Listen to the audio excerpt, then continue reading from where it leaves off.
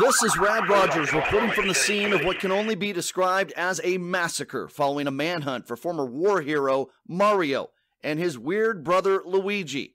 Now, the pair have been on the run for quite some time, were thought cornered in this remote hotel on the outskirts of Bandits Way, where authorities hoped that the two would surrender peacefully.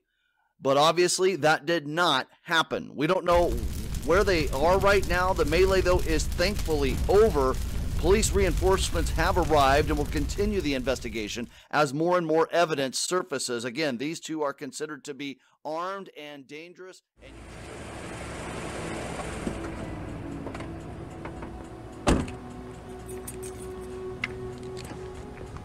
Are you always dysfunctional, detective? Well, anyway, your assistance is no longer necessary. As you can see, we got it under control.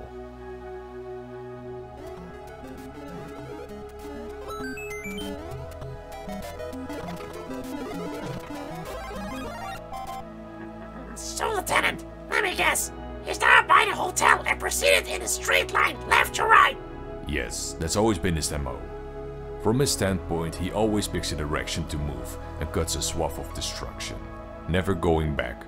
But of course, left and right in 3D space is arbitrary and relative to the person.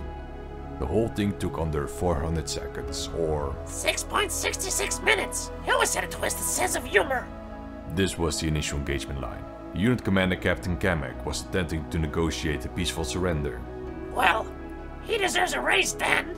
Let me guess. I jumped out and engaged the picket line.